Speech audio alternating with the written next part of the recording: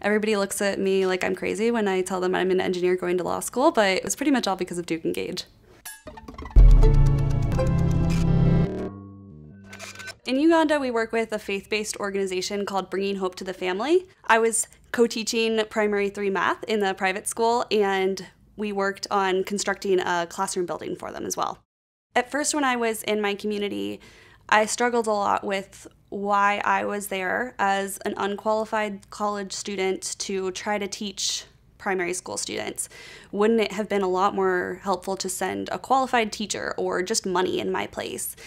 But throughout the summer, I learned that a lot of what we give through Duke Engage is not tangible. It's the relationships we build and the perspectives that we exchange. In Uganda, the a lot of the people place such a an emphasis on relationships, um, taking the time to stop on the street and chat with somebody or have lunch.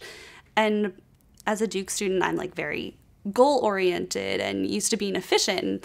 So that was really completely different from me. But I think ultimately it helped me to be a lot more flexible, um, a lot more adaptable, and helped me to understand and see other people's viewpoints. And even if they were different than mine, to value them um, and to realize that our way is not necessarily the best. I think Ugandans have the right idea with the relationships. I think Duke Engage does a really good job of allowing us to reflect on our experiences and think critically about the ways that we do service. It's really important to be open to doing anything, to be humble and not to think that you're too good to do a task just because you're a Duke student the community leaders, the grassroots leaders, are the people that have the expertise and the skills to change their communities. It's not us, it's not outsiders. We can support them. And I think that's what we do really, really well through Duke Engage.